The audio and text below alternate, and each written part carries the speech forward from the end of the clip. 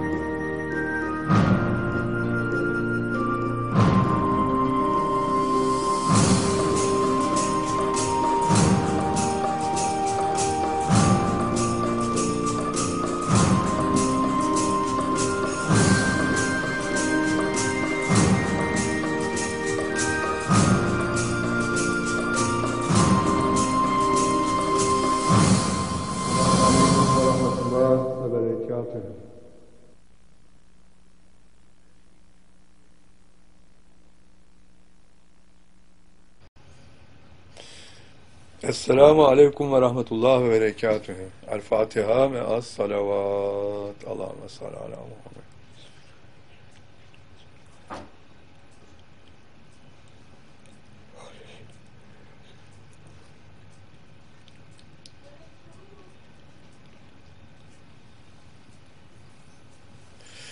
Euzubillahimineşşeytanirracim. Bismillahirrahmanirrahim. Sevgili öğrenciler, izleyenler, dinleyenler, can dostlarım, gönül dostlarım. Allah'a sonsuz hamd ve şükrederiz ki yeni bir gün, yeni bir sohbet, bir Ramazan sohbeti, ruhun Allah'a teslimi.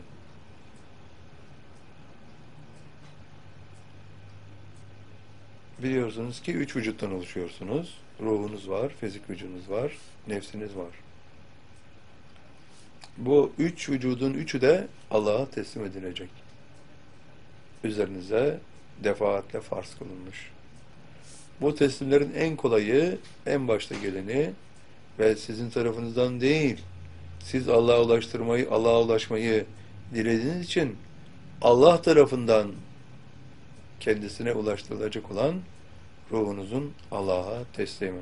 İşte bu akşamki Ramazan sohbetimiz ruhun Allah'a teslimi konusunu içeriyor. Gene biliyorsunuz ki İslam merdiveni 28 basamaktan oluşur. Vel Asr suresinin standartları içerisinde 21. basamakta ruh Allah'a ulaşır. 22. basamakta da teslim olur. Öyleyse üçüncü basamakta Allah'a ulaşmayı dilersiniz. Allah üzerinize on tane ihsan verir. On dördüncü basamağa ulaşırsınız. On dördüncü basamakta ruhunuz vücudunuzdan ayrılır. Allah'a doğru yola çıkar. Allah'a ulaşmayı dilediğiniz noktadan 14. basamakta ruhunuzun ayrılmasına kadar geçen süre Allah'a yönelmenizdir.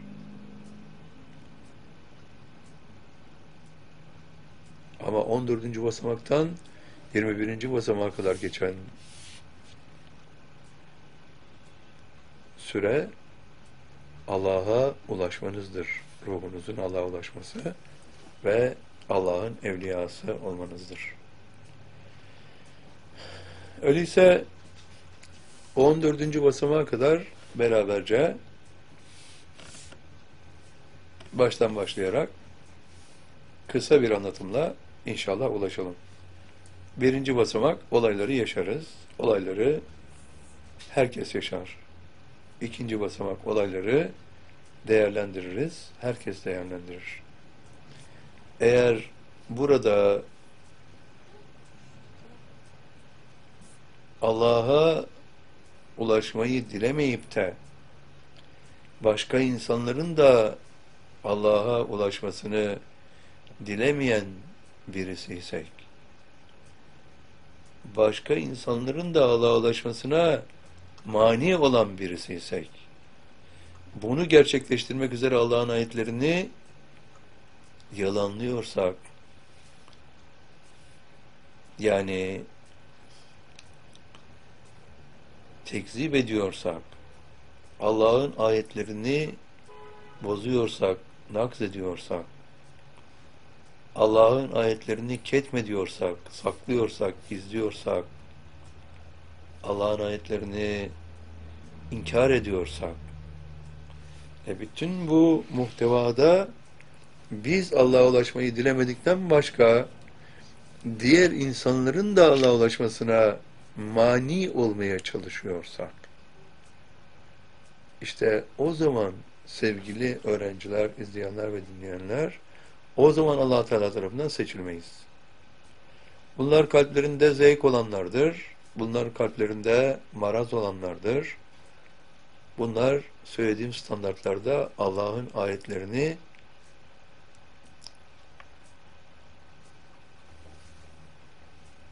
yalanlayanlardır. inkar edenlerdir. Ve gayeleri başka insanları da Allah'ın yolundan al, men etmektir. Bu insanların hiçbirisi seçilmez. Ama onların dışında kalan bütün insanlar seçilirler. O zaman insanların %90'dan fazlası seçilenlerdir allah Teala tarafından. İkinci basamakta seçiliriz. Bu seçilenlerden bir kısmı Allah'a ulaşmayı dilerler ve Allah'a ulaşmayı da hak ederler. Şura suresinin 13. ayeti kerimesinde allah Teala diyor ki Allahu yeştebi ileyhi men yunib men yeşâ'ü yehti ileyhi men yunib Allah kullarından dilediğini kendisine seçer ve onlardan kim Allah'a yönelirse onları kendisine ulaştırır. Ayette gördüğünüz gibi Allah'a ulaşmayı dilemeniz yeterli. Böyle bir dilek varsa mutlaka allah Teala sizi seçer. Eğer seçilenlerdenseniz Allah'a ulaşmayı dilerseniz mutlaka Allah'a yönelmiş olacağınız için allah Teala sizi kendisine ulaştırır.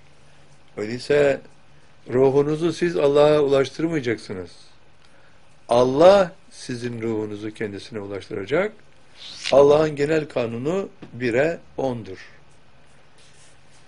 Böyle bir şey için siz ilk adımı atacaksınız. İradenizi size verilen cüz'i iradeyi Allah'a ulaşmayı dileme noktasında kullanacaksınız. Allah'a ulaşmayı dileyeceksiniz. Kim Allah'a ulaşmayı dilerse o dileyen kişi Allah'a ulaşmayı dilediği cihetle Allah'tan tam 10 tane ihsan alır. Daha Allah'a ulaşmayı dilediği an Allah'a ulaşmayı hak etmiştir. Cenneti de hak etmiştir. Allah'a ulaşmayı dilediği kişi Allah derhal Rahim esmasıyla o kişinin üzerinde tecelli eder. Dilemek üçüncü basamak, Allah'ın tecellisi dördüncü basamak. Bu tecelli neyi oluşturur? O kişinin gözlerindeki hicab-ı mestureyi alır allah Teala. Kişi irşat makamını artık herhangi bir insan olarak görmez. Hidayetçi olarak görür. İrşat makamının sahibi olarak görür. Hidayete erdiren kişi olarak görür. allah Teala onun kulaklarındaki vakrayı alır ve kişi irşat makamının sözlerinin manasını anlamaya başlar. O güne kadar bir kulağından girip öbür kulağından çıkan sözler o günden itibaren onu meşgul etmeye başlar. Sözleri, irşada müteallik hususları ciddi bir şekilde kişi düşünmeye başlar. Veya irşat makamının sözlerini anlamaya başlar, manaları anlamaya başlar. Sonra ne yapar allah Teala? O kişinin kulaklarındaki vakrayı alıp vakrayı aldıktan sonra kalbindeki ikinneti alır. Yerine ihpat koyar. Kişi irşat makamının sözlerini sadece anlamaz, idrak eder. Derin bir anlayışla anlar ve kendisine mal eder. Kişi üçüncü basamakta Allah'a ulaşmayı diledi. Dördüncü basamakta Allah rahim esmasıyla tecelli etti. Beşinci basamakta gözlerdeki hicab-ı alındı. Altıncı basamakta kulaklardaki vakra alındı. Yedinci basamakta kişinin kalbindeki ekinet alındı. Yerine ihbat konuldu. Kişi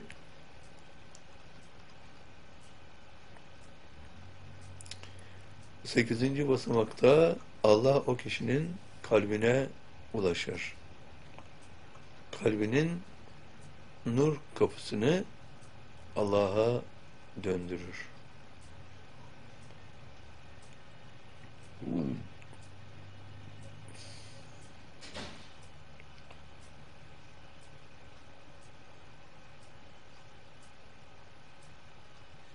Dokuzuncu basamak Allah o kişinin göğsünden kalbine nur yolunu açar. Enam suresinin 125. ayet-i kerimesi gereğince femen yuridullahu en yehdiyehu yeşrah sadrahu lil İslami. Allah kimi kendisine ulaştırmayı dilerse onun göğsünü teslime açar diyor allah Teala. Yarar, onun göğsünü yarar, şerh eder ve göğsünden kalbine bir nur yolu açar. O kişinin kalbini Allah'a teslim için açar.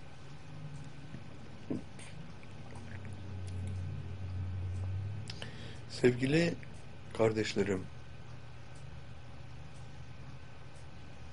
10. basamaktasınız.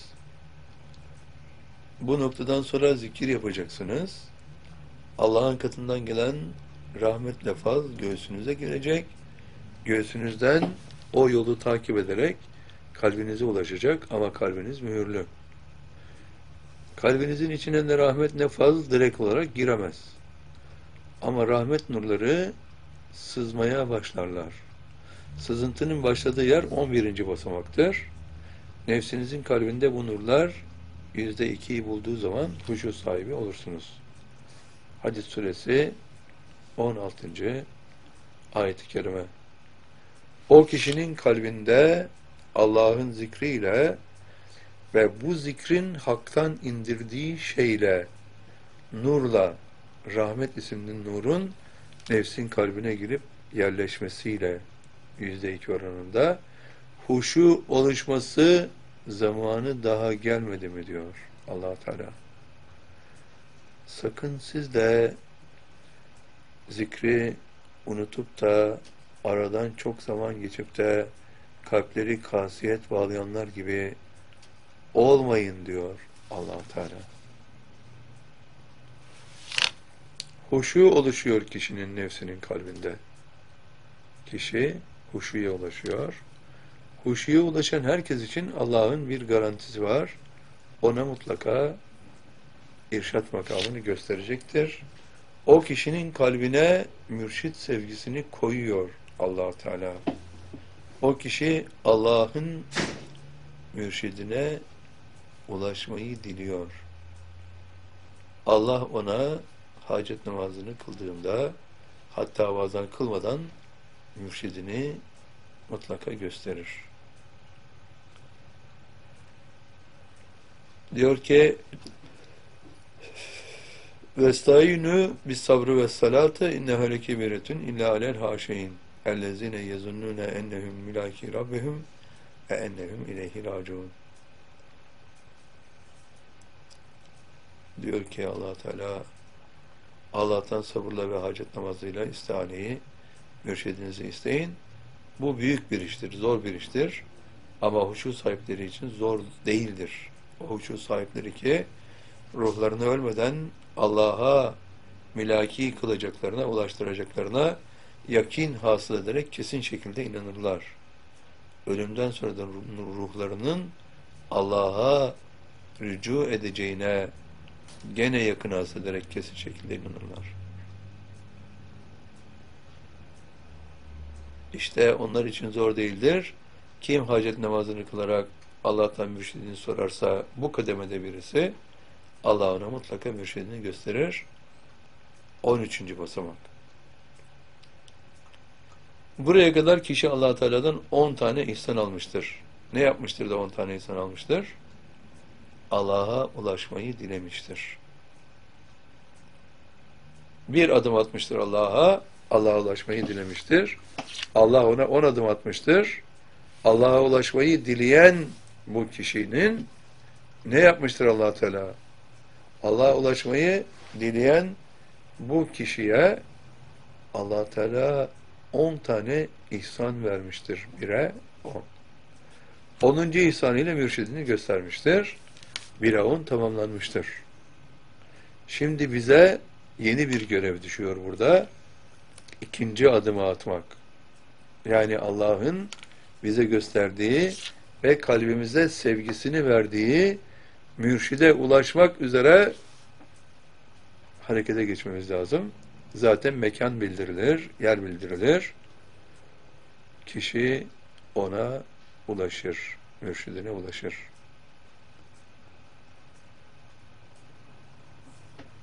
Ve ikinci adımdır bu. Ne yapmıştır kişi? Gene bir adım atmıştır. allah Teala ne yapacaktır? On adımla karşılık verecektir. Birinci adımı attı, Allah'a ulaşmayı diledi. allah Teala on adımla karşılık verdi. İkinci adımı attı kişi, Allah'ın on ihsanından sonra mürşid, Allah'ın gösterdiği mürşide 13. basamakta gösterdiği 10. ihsanında gösterdiği kişiye ulaştı, tabi oldu. Bu noktaya kadar o kişi namaz kılmayı sevdirildi. Namaz kılmak kendisine sevdirildi. Oruç tutmak sevdirildi. Zikir yapmak sevdirildi. Allah sevdirildi. Mürşit sevdirildi. Ve kişi Allah'ın emirlerini severek yapan birisi oldu. 14. basamakta mürşidine ulaştı, tabiyetini gerçekleştirdi. Ne olur? Bu bir adımına da allah Teala on adımla karşılık verecektir. On tane nimet. Nimet bir. O kişinin başının üzerine devrin imamının ruhu gelir ve yerleşir.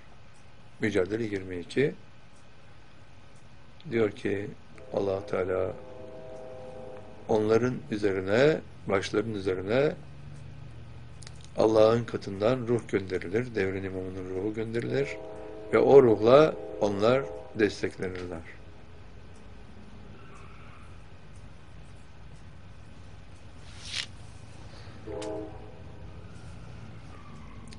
Böylece kişinin başının üzerine devrin imamının ruhu geliyor. Ondan sonra diyor ki allah Teala ve onların kalplerinin içine iman yazılır diyor. Allah kalbimiz içine üç safhada imanı yazıyor. Bir, kalbimizin mührünü açıyor. İki, kalbimizdeki küfür kelimesini çıkarıyor, alıyor. Üç, kalbimizin içine imanı yazıyor.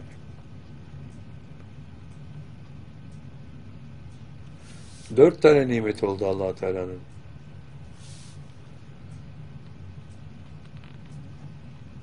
Devrin imamının ruhu başımızın üzerine geldi. Kalbimizin içine iman yazıldı. Sonra ne yapıyor allah Teala? Kişinin Allah'a ulaşmayı dilediği an günahlarını örter allah Teala. Sevapları mevcut olduğu için sevapları günahlarından fazla olan birisi olur. Ve bu kişi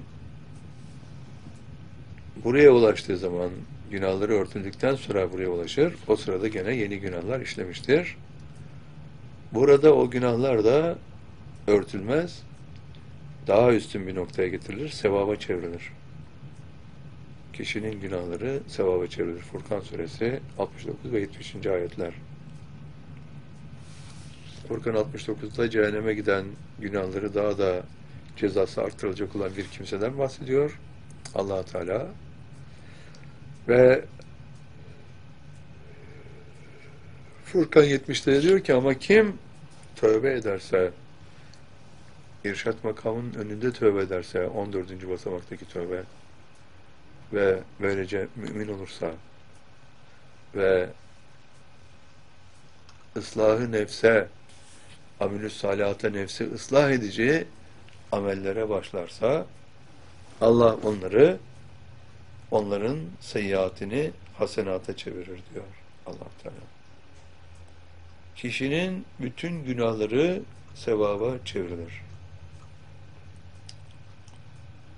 Allah'ın beşinci nimeti. Altıncı nimet kişinin ruhu vücudundan ayrılıp Allah'a doğru yola çıkar. Mümin suresinin 15. ayet-i kerimesi gereğince allah Teala diyor ki dereceleri yükselten ve arşın sahibi olan Allah kullarından layık olanların üzerine, başlarının üzerine Allah'ın emrinden ruh gönderir.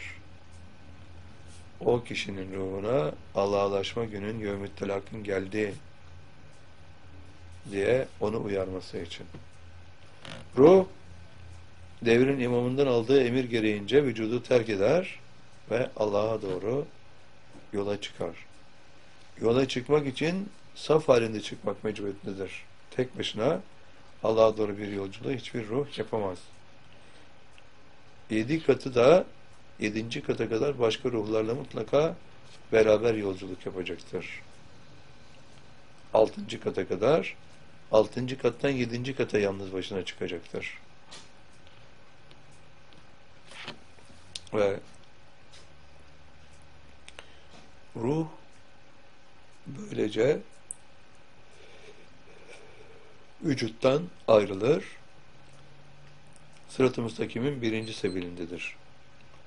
Hangi dergahtan el öptüyse ruh o dergahtadır. O dergahın manevi muhtevası içindedir.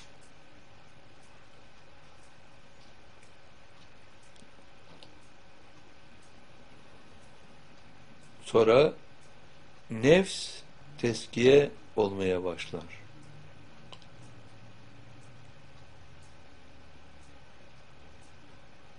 Ne diyor allah Teala? Kat eflaha men zekâ andolsun ki onlar felah ererler. Kimler? Onu nefslerini teskiye edenler. Burada nefs tezkiyesi başlar. Kişi zikir yapar. Allah, Allah, Allah, Allah diye.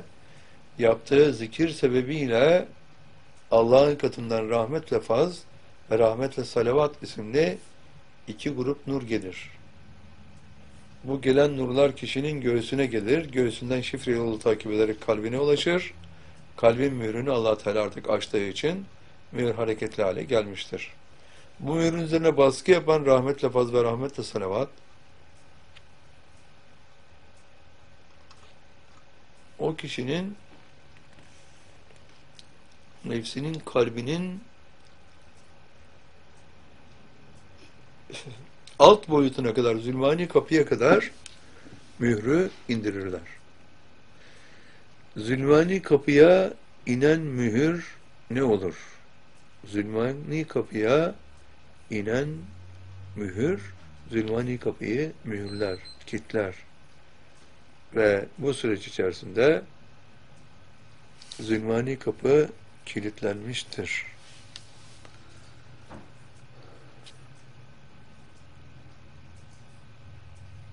Sevgili öğrenciler, izleyenler, dinleyenler,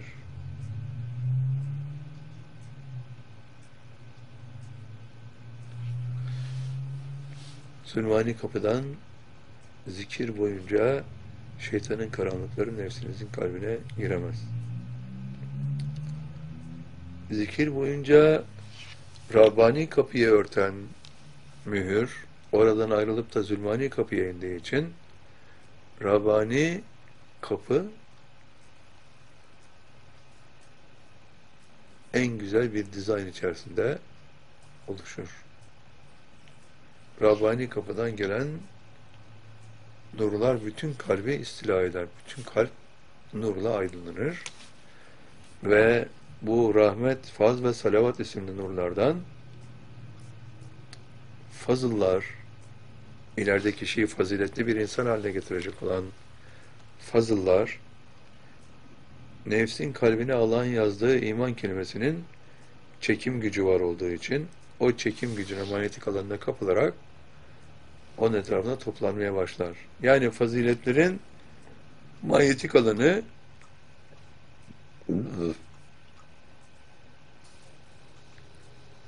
iman kelimesinin manyetik alanının zıttıdır birbirini çekerler ve çektikleri için de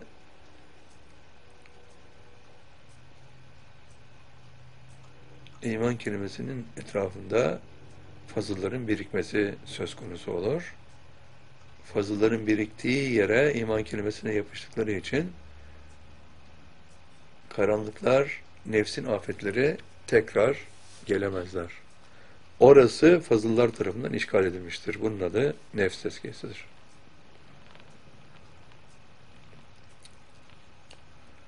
Allah'ın altıncı nimeti ruhumuzun vücudumuzdan ayrılıp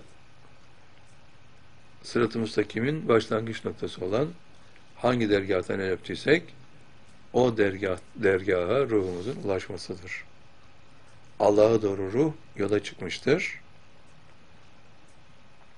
Allah'ın altıncı nimeti. Nefs teskiyeye başlamıştır. Allah'ın yedinci nimeti. Şeytan nefsimizin kalbine, kalbindeki afetlere tesir edebilir sadece. Nefsimizin afetlerine tesir eden iblisin ruhun hasletlerine tesiri mümkün değildir. İşte nefsimizin kalbindeki afetlerden yüzde yedisi, yüzde bir, yüzde iki derken yüzde yedisi azaldığı zaman o afetlerin yerini faziletler, fazıllar aldığı zaman bizi yüzde yedi fazilet sahibi yaptığı zaman allah Teala nefsimizin kalbinin yüzde yedisine iki de evvelden vardı rahmet nurları kalbe girmişti. Küfür kelimesine rağmen yüzde iki girmiş ve yerleşmişti kalbimize. Şimdi allah Teala kalbimizden küfür kelimesini tamamen aldı. Mürşidimize ulaşıp tabi olduğumuz an allah Teala ne yapıyordu? Kalbimizin mührünü açıyordu. Küfür kelimesini alıyordu. Yerine iman kelimesini yazıyordu. Küfür kelimesi artık kalbimizde olmadığı için karanlıkları nefsin kalbinde tutacak olan bir güç yoktur. Ama iman kelimesi de sadece kendisine yakın planda çekebildiği kadar rahmet, fazilet, fazılları etrafına toplayabilir. Geri kalan alan zikir bittiğinde tekrar karanlıklar tarafından işgal edilecektir. İşte böyle bir ortamda nefs tezkiyesi yüzde yedi ise nefsimizin kalbinde biriken fazıllar de rahmet var yüzde dokuz. Nefsimizin kalbinde yüzde yedilik oranlarla fazıllara paralel olarak bir birikim başlar.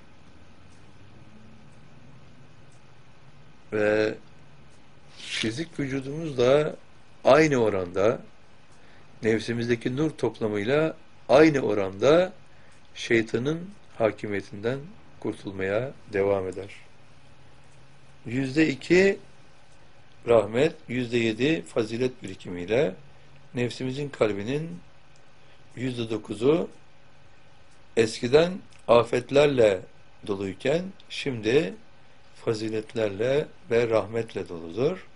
Allah'ın emirlerine mutlak itaat eden, yasak ettiği hiçbir fiili işlemeyen bir yüzde yedilik, yüzde dokuzluk grup oluşur nefsimizin kalbinde. İşte bu nefs tezkiyesidir. Vücudumuzdan ayrılan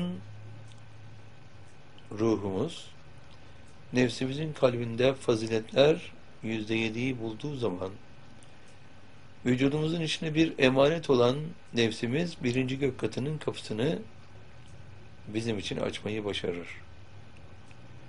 Ruhumuz artık aynı dergahtan yola çıkan ve başka dergahlardan gelen devrin imamının dergahından altın kapıdan geçerek saf halinde yükselerek birinci kata kadar ulaşmaya başlamıştır.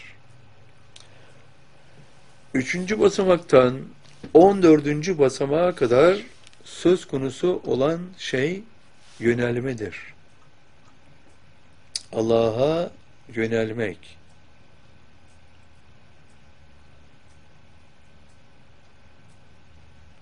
Ama 14. basamaktan itibaren Artık konu yönelmek değildir. Allah'a ulaşmaktır. İşte 14. basamaktan itibaren Allah'a ulaşmak başlamıştır. Allah'ın 10 tane nimetinden 7 tanesini saydık. Altıncısı ruhumuzun Allah'a doğru yola çıkmasıydı.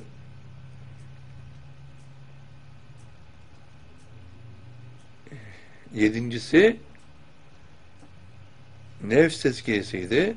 Sekizincisi de nefs tezkiyesiyle aynı oranda fizik vücudumuzun şeytana kul olmaktan kurtulmasıydı. Başlangıçta nefsimizin kalbi yüzde yüz afetlerle dolu olduğu için afetler Allah'ın bütün emirlerine itaat etmediği için yasak ettiği bütün fiilleri de işlediği için, işlemeye çalıştığı için şeytan aynı şeyleri istediği cihetle yani Allah'ın emirlerine itaat etmememizi yasak ettiği fiilleri de işlememizi istediği cihetle orada bir müessese oluşuyor. Şeytanın talepleriyle nefsimizin talepleri aynı. Bu sebeple şeytan nefsimizin afetlerine sözünü geçirmekte hiçbir zorluk, zorlukla karşılaşmıyor. Çünkü nefsimizin afetleri de şeytanın istediği şeyleri istiyor. Öyleyse onun emrine itaat etmek için olmasa bile nefsin afetleri öyle istediği için, şeytanla aynı paralelde istediği için şeytan sözünü nefsimize yüzde yüz dinletmiş oluyor. Ama afetler azaldıkça şeytanın da hakimiyeti onlara paralel olarak azalıyor. Yani fizik vücudumuz şeytana kul olmaktan nefsimizin kalbinde yüzde yedi nur biriktiği zaman, fazilet biriktiği zaman yüzde yedi, iki de rahmet var. Rahmeti sonra hesap edelim. Yüzde yedilerden gidelim. Şeytanın hakimiyetinden kurtulmuştur. Allah'a yüzde yedi oranında yani aslında yüzde dokuz oranında Allah'a kul olmaya başlamıştır. İşte nefsimizin yüzde yedi teskiyesi, ruhumuzun zemin kattan birinci gök katına ulaşması ve fizik vücudumuzun yüzde yedi şeytana kul olmaktan kurtulması. Üç ayrı hidayet. Ruhun ve Çin nefsin hidayeti. Peki ya irademizin hidayeti? Nefsimizin afetleri azaldıkça irademiz güç kazanıyor. Nefsimizin afetleri azaldıkça irademizin güçlendiğini görüyoruz. İrademiz güçleniyor, kuvvetleniyor. Düşman azaldığı için irademizin gücü değişmediği halde düşmanı azalttığı, azaldığı için düşmanın gücü azaldığı için daha güçlü oluyor irade. Yani daha az düşmana yaptığını, dilediğini yaptırması kolaylaşıyor. Ruhumuz zemin kattan birinci gök katına ulaşacak. Allah'ın dokuz tane nimetiyle karşılaştık.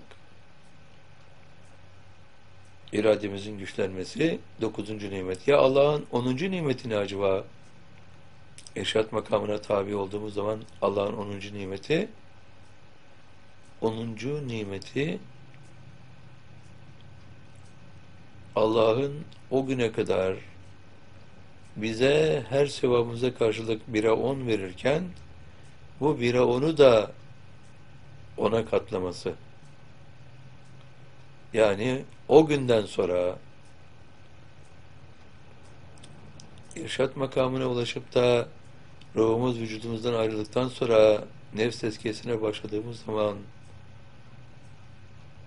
kalbimiz içine faziletler birikmeye başladığı zaman Allah'ın bize verdiği sevap tartıları değişiyor. Bire onken bire yüz oluyor.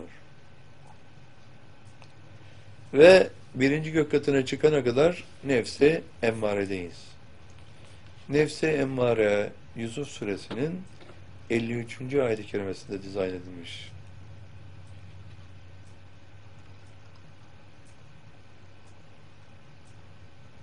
Hazreti Yusuf diyor ki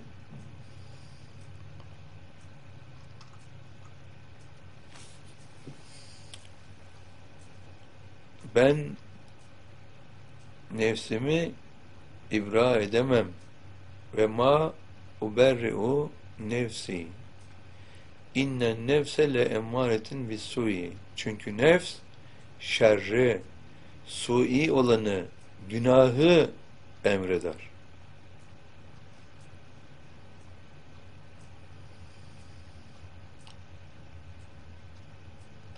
İlla ma rahime Rabbi. Ama Rabbimin Rahim esmasıyla tecelli etmesi hariç diyor allah Teala. Allah'ın Rahim esmasıyla tecelli etmesi hariç. Sevgili öğrenciler, izleyenler, dinleyenler, can dostlarım, gönül dostlarım.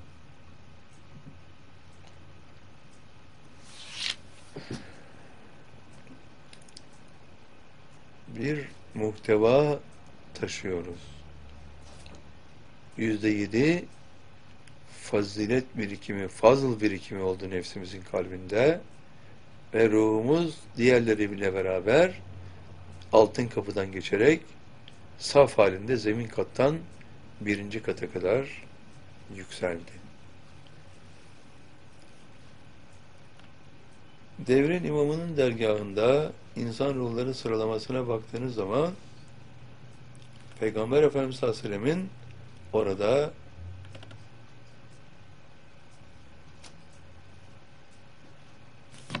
bir öğretim müessesesini devam ettirdiğini göreceksiniz. Onarlık insan sıraları insan ruhları onarlık sıralar halinde her birinin önünde bir rahle var. Her birinin de rahlerin üzerinde Kur'an-ı Kerimler. Sağ tarafta sağ kanat velisi, sol tarafta sol kanat velisi. Arkaya doğru uzanan onarlık sıralar.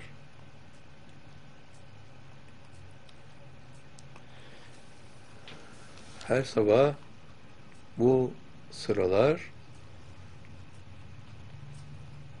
karşı duvarın dibinde secdeye gelirler. Duvarın önü altın kapının bulunduğu o duvarın önü baştan aşağı ruhlarla dolar. Sağ kanat filisi en soldadır, en sağdadır. Sol kanat velisi hanımların başlangıç noktasından daha evveldir. Solda da hanımlar vardır.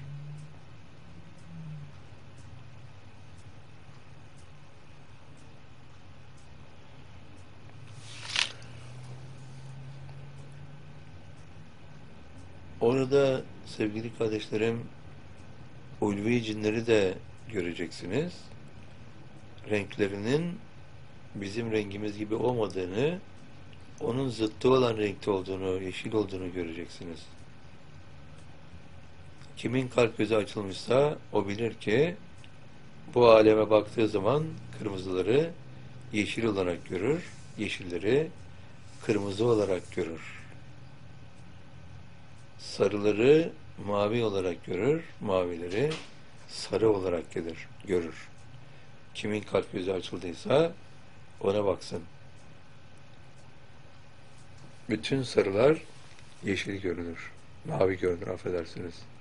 Bütün mavilerde sarı.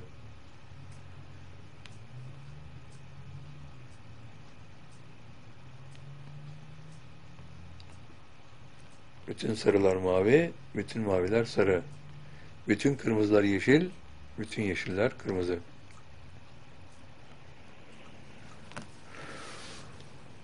Sevgili öğrenciler, izleyenler, dinleyenler,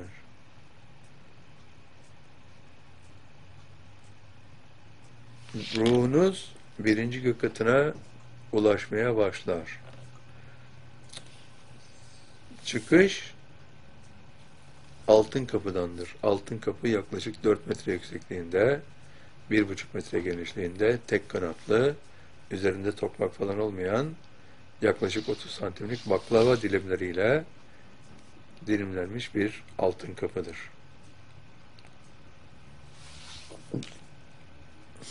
O kapı otomatik olarak açılır. Birer birer boşluğa ulaşan ruhlar bir saf teşkil ederler boşlukta ve saf olarak bütün saf hepsi birden saf hiç bozulmadan yukarıya doğru saf halinde yükselirler. Birinci kata ulaşan bu ruhlar birinci katta bir çatının altında değil açıkta seccadeler üzerinde secde ederler.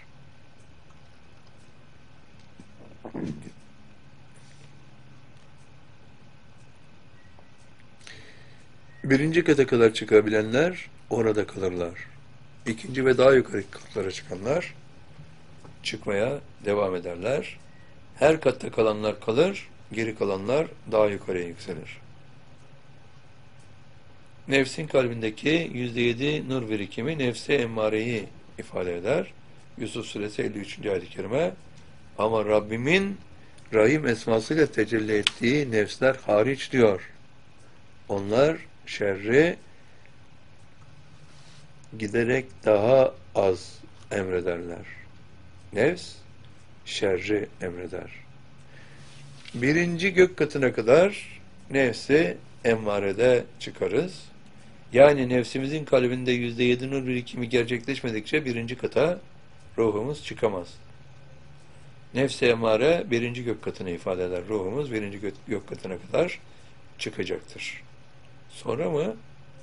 Sonra sevgili öğrenciler, izleyenler ve dinleyenler bundan sonra daha çok zikir yapacağız. Ve nefsimizin kalbindeki nurlar, faziletler, fazıllar giderek artacaktır. İkinci bir yüzde yedi nur birikimi tahakkuk ettiği zaman ruhumuz ikinci gök katına ulaşır.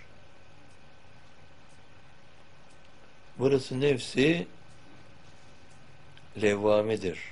Kıyamet suresi ikinci ayet-i kerime. Fela uksimu bin nefsi levameti. Hayır, o levame nefse kasem olsun ki diyor allah Teala. Lev, kınamak demek. Levmetmek, kınamak demek. Kişi şeytanın emirlerine, nefsinin emirlerine, şerre emreden nefsinin emirlerine uymak istemiyor. Nefsin afetler sebebiyle şerri emretmesine uymak istemiyor kişi ama bir de bakıyor ki elinde olmadan o suçu işlemiş bile. Allah'ın yasak kıldığı şeyleri kişi işlemeye ne yazık ki devam ediyor. Arkasından bir pişmanlık kaplıyor. Nefsini kınıyor kişi. Kendisini suçluyor kişi.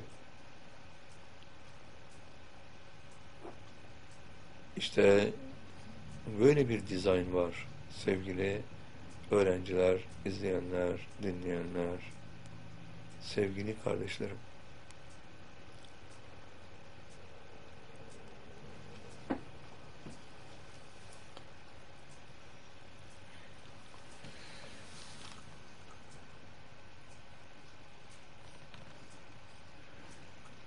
İkinci katta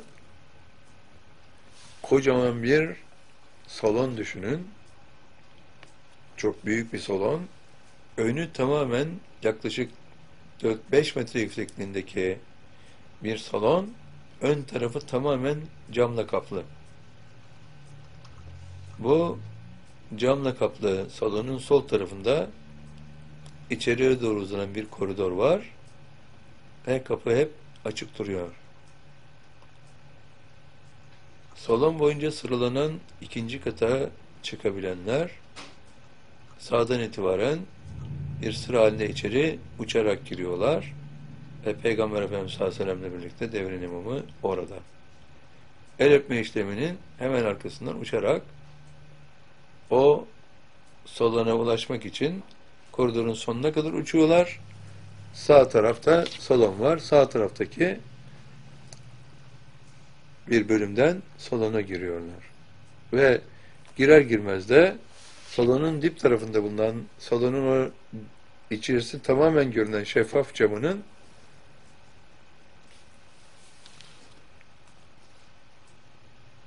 tam karşısında olan karşı duvarın önünde secde ediyorlar.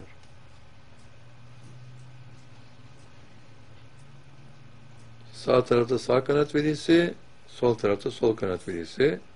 Hanım Sultansa suvarılma havuzlarının üstünde ve sol tarafta. Suvarılma havuzları yaklaşık 2 metre 20 santim 30 santim yüksekliğinde şeffaf havuzlar, yerden yükseltilmiş havuzlar, her bir havuz bir kişi için.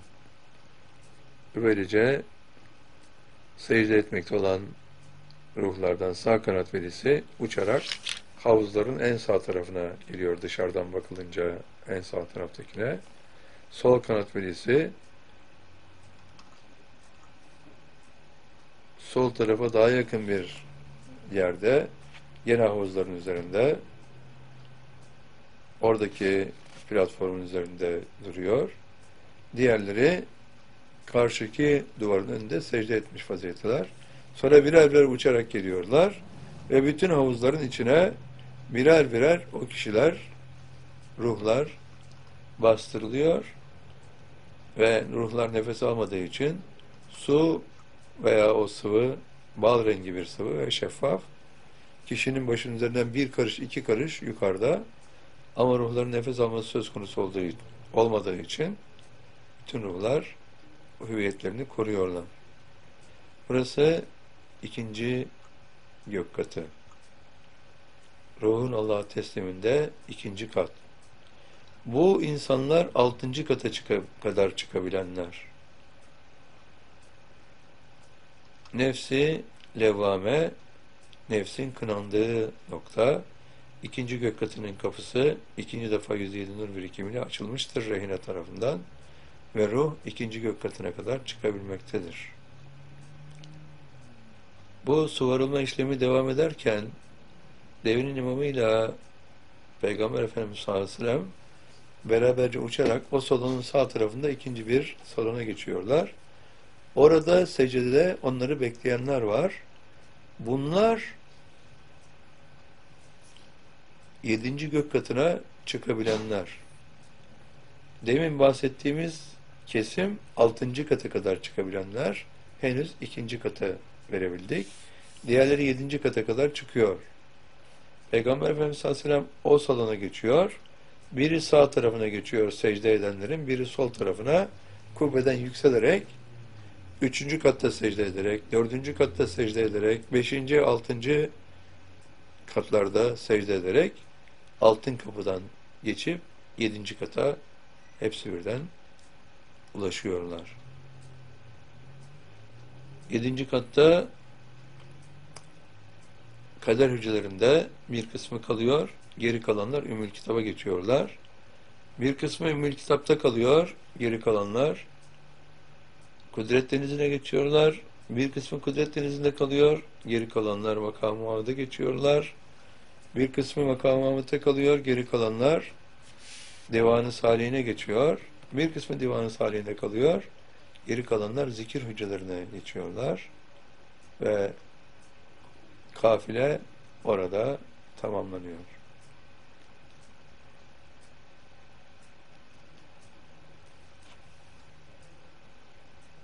Ve aynı kafile tekrar aşağı iniyor. Bir süre orada kaldıktan sonra her kesim kendi konusundaki tecrübelerini devam ettirdikten sonra. Peki ikinci kattakiler ne oluyor?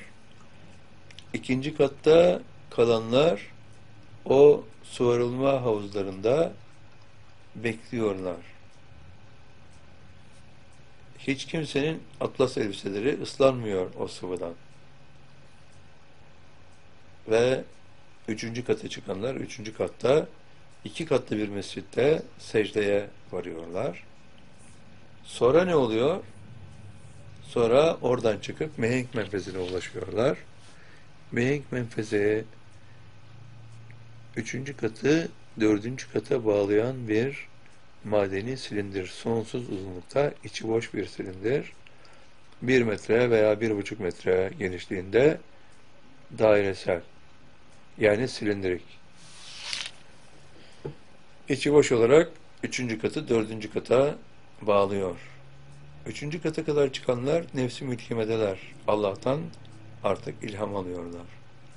Fe elhemaha fücuraha ve takvaha diyor allah Teala. Ve nefsin ve ma sevvaha Şems 7. Fe elhamaha fücuraha ve takvaha Şems 8. Kat eflaha men zekkaha Şems 9. O nefse ve onu sevva edene o nefse takvası da fücuru da Allah'ın takvası da şeytanın fücuru da ilham edilir. Ve diyor allah Teala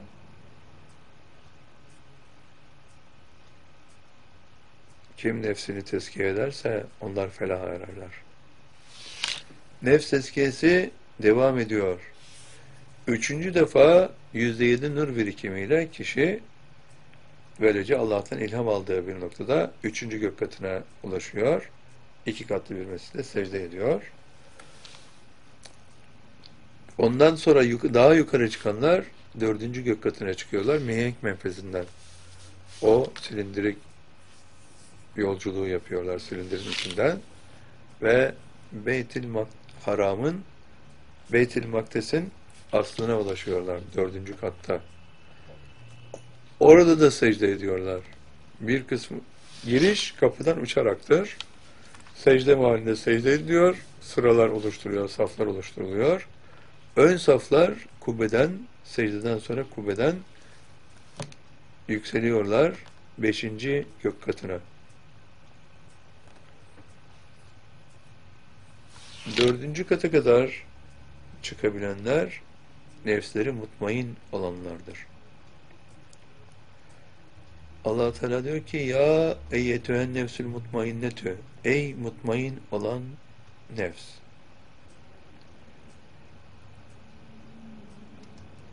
e, radiyeten irci'i ila rabbiki radiyeten mardiyeh fethuli fi ibadi fethuli cenneti. Fecr 27, 28, 29, 30 Ey mutmain olan nefs diyor allah Teala burası mutmainne kademesi dördüncü kat. Mutmain olmak doyuma ulaşmak demek. Ela bi zikrullahi tatmeinnül kulübü diyor allah Teala. Ellezine amenu ve tatmeinnül kulübü Ela bi zikrullahi tatmeinnül kulüb diyor allah Teala. Onlar ki amen olmuşlardır ve kalpleri mutmain olmuştur. Bilin ki kalpler zikirle mutmain olur diyor allah Teala. Mutmain olmak doyuma ulaşmak demek. O kişi burada doyuma ulaşmıştır. Sonra Allah'ın verdikleri onun için daima yeterlidir. Ne verirse versin allah Teala onlar doymaktadırlar. Sonra kişinin ruhu beşinci kat için beşinci defa yüzde yedi nur birikimine uğrayacaktır. Kişi Allah'tan razı olacaktır. Sonra bir daha yüzde yedi nur birikimi nefsin kalbinde kişi altıncı gök katına ulaşacaktır. Beşinci gök katı Beytil Haram'ın aslıdır. Orada da secde edilir. Ve çıkabilenler kubbeden altıncı kata çıkarlar. Altıncı kat sıbgatullah, ol, sıbgatullah olma mahallidir. Burada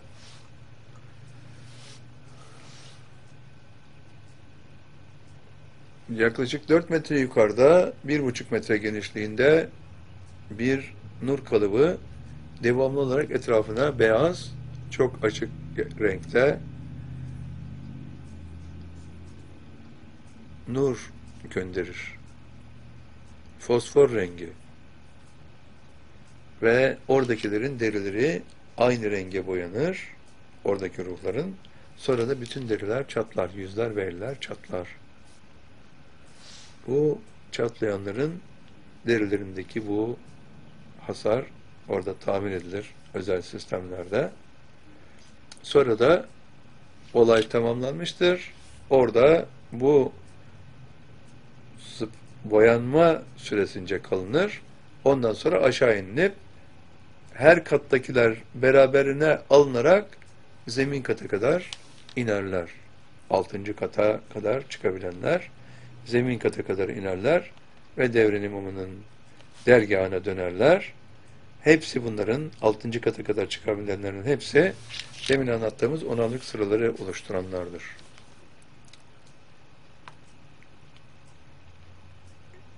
Yedinci kata kadar çıkabilenler de yedinci kata kadar çıktıktan sonra geriye dönerler. Bütün katları secde ederek inerler. Onlar da devrin imamının dergahında bir asma kat statüsündeki yerde devrin imamının kendilerine verdiği dersleri takip ederler. Orada gene onarlık sıralar oluştururlar. Altıncı kata kadar çıkabilenlerden bir gün bir tanesinin derileri çatlamaz.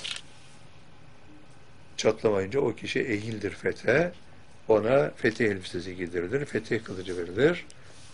Eyüzü Besmele ile kılıcı yukarı doğru kaldırarak yedinci kata ulaşır kişi. Yedinci katın girişi bir altın kapıdır. Zemin kattaki altın kapının aynı.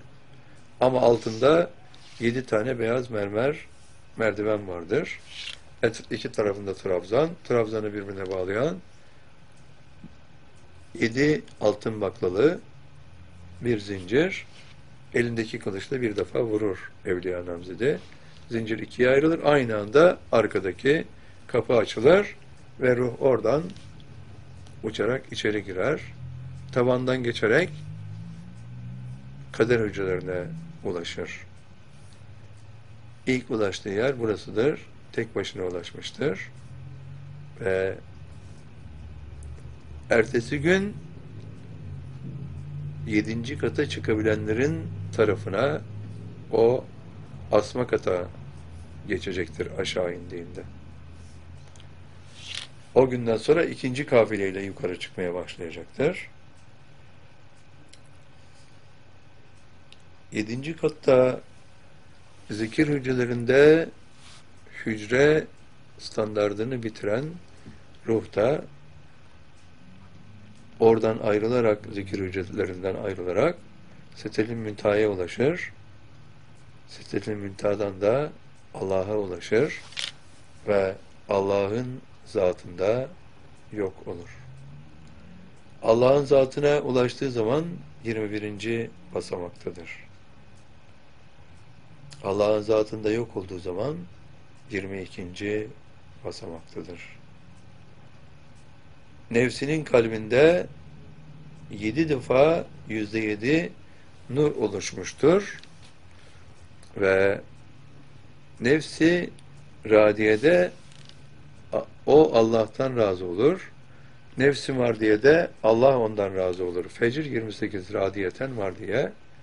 Nefsi teskiyede nefsinin kalbi yüzde 49 fazilet, iki de rahmetle yüzde 51 olmuştur. Şeytanın hakimiyeti yüzde 49'a düşmüştür. Artık hakim olan Allah'ın nurlarıdır. Ruh da Allah'a ulaşmıştır.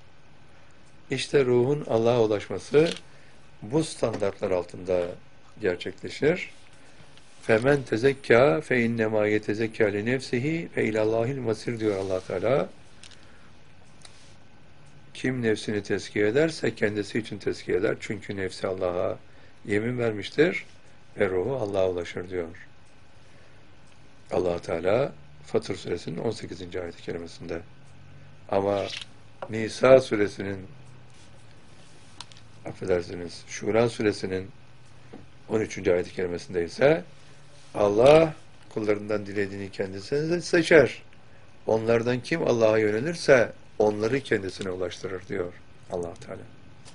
İşte böylece Allah ruhu kendisine ulaştırıyor. Daha sonra da ruh Allah'ın zatında yok oluyor, meaba ulaşıyor, meaba sığınıyor. allah Teala'nın hepinizi hem cennet saadetine hem dünya saadetine ulaştırmasını Yüce Rabbimizden niyaz ederek sözlerimizi inşallah burada tamamlamak istiyoruz. Sevgili öğrenciler, izleyenler, dinleyenler, Allah hepinizden razı olsun. El Fatiha me'as salavat. Allahümme salli ala Muhammed. Rahman Rahim Elhamdülillahi Rabbil Alemin. Rahman Rahim Maliki Yevmiddin. Kenestayin ihtına sıratel müstakim. Sıratel lezine enamte aleyhim. Gayril mağdubi aleyhim ve lendalin amin. Esselamu aleyküm ve rahmetullah ve berekatühü